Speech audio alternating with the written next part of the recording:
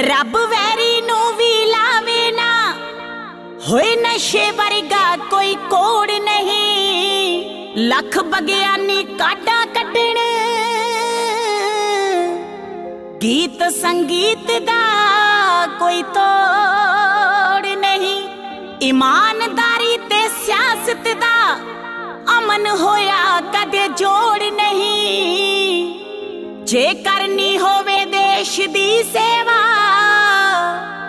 ਕੁਰਸੀ ਤੇ ਬੈਣ ਦੀ ਲੋੜ ਨਹੀਂ। ਕੁਰਸੀ ਤੇ ਬੈਣ ਦੀ ਲੋੜ ਨਹੀਂ। ਹੁੰਦੀ ਨਸ਼ਿਆਂ ਦੀ ਚਰਚਾ